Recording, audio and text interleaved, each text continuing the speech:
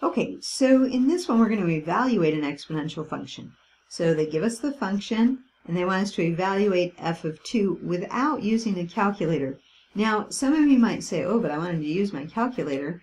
Um, we're going to show you how to do these with a calculator because some of them you have to do that. Uh, we'll be using a scientific calculator. Um, if you have a graphing calculator, it will have all the features as well.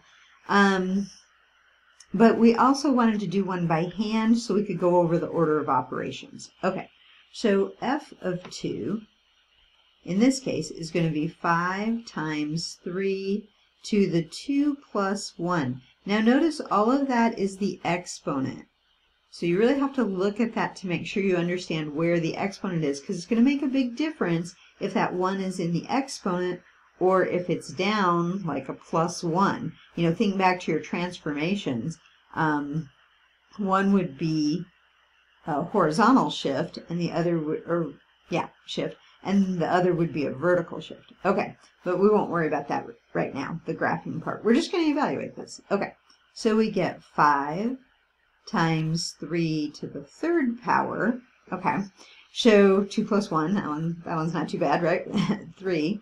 And then you have to do the exponent first. According to the order of operations, we do exponents before multiplication. So that's going to be 5 times 27. And I have to do that by hand because it said not to use a calculator. Sad that I'm writing this out. Okay, I'm getting 135. Okay, just a review of multiplying. So when we evaluate that function at 2, we're getting 135. So again, we were just going over the order of operations. There was some calculating to do in the exponent, and that can happen on these. So just so that you understand, you do that work in the exponent, then you apply the exponent, which is what we did here, and then finally we did the multiplication. Okay.